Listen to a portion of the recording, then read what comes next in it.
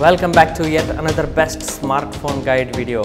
So today we will be looking at top 5 best smartphones under 40,000 Indian rupees. So without wasting any more time, let's check out the first one. But wait, Samsung just launched the A73 5G at 44,499 Indian rupees. So make sure to watch this video till then to find out how you can buy one for just 39,000 rupees. Yes, just launched phone and with an awesome deal that gives you for just 39,000 rupees. But there are better phones in some aspects at lesser price. So let's look at those first. Now the first one in the list is from Realme. It's the Realme GT Neo 3. You can get this one for as low as 33,999. Now check the description for details and latest updated pricing. Now this one features 8GB RAM, 128GB storage. It also comes with MediaTek Dimensity 8100 processor which has proven to be fast enough for multitasking. Now this also has 6.7 inches huge Full HD plus 120Hz AMOLED screen, triple camera setup which is great. Again a 16 megapixel for the front camera that is to capture beautiful selfies.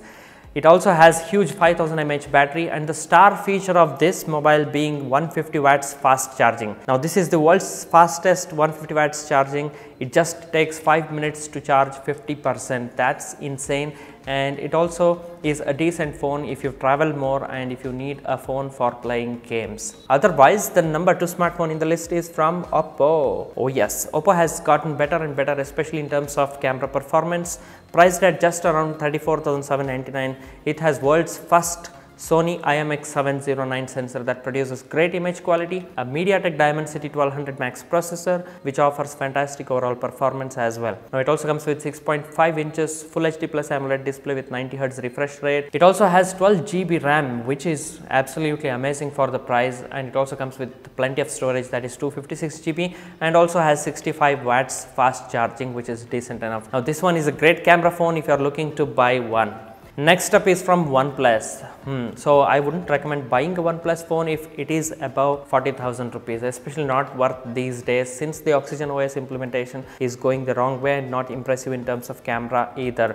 So if anything above 40,000 rupees, do not buy OnePlus. But here's a deal that's going on right now if you are a OnePlus fan so the OnePlus 10R is good since it's available just for rupees 38,999. It comes with 6.7 inches 120 Hz display, Dimensity 8100 Max processor, triple camera setup. Although only main camera is good, it also has ultra fast 80 watts charging, looks quite unique as well and also has a good 16 megapixel selfie camera. So yes, if you are a OnePlus fan then 10R would be a nice pick. Another superb phone for the price right now is the iQOO 009, not the 9 SE but 9 itself.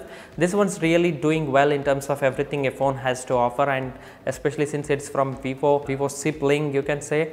So it's currently going on on a limited deal just for 39,000 rupees. It's a best performer out there at this price range. So it comes with Snapdragon 888 Plus chipset, 120 watts fast charging again a brilliant fast charger here, 8 GB RAM, 128 GB storage, triple camera setup which is decent and it also has a gimbal camera system for stabilization and works well too. Now it comes with 120 Hz 10-bit AMOLED display which is gorgeous, dual stereo speakers. Although guys I have seen some people complaining about the poor battery life for this phone but it has fast charging to cope up that and hence this is a great for anyone looking an all-rounded phone. Sure it's not perfect but a good value for many phone. If you don't like the iQOO9 just check out the Xiaomi 11T Pro it's a safe bet there. Again a great phone if you are a Xiaomi fan. Now here's the Samsung phone that I talked earlier just launched and it's great. So the Samsung A73 comes with 6.7 inches Full HD Plus AMOLED Plus display and with uh, 800 nits of brightness which is nice quad camera setup and a 32 megapixel f2.2 selfie camera and really the Samsung has been doing great especially in terms of user interface especially with the one touch UI. So the user experience is great and the phone is fast so that's a very nice combo there. The only area it's lagging with competition is the chipset since it uses a Snapdragon 778 instead of 800 series but it is fast enough so that's why I have uh, recommended this one. It is also IP67 rated and is water and dust resistant. So just click on the link below use the ICICI bank card while doing a checkout and you will get instant 3000 rupees discount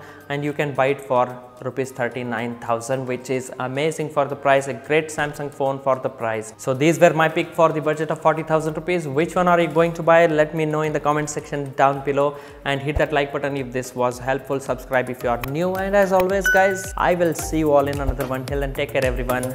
Bye bye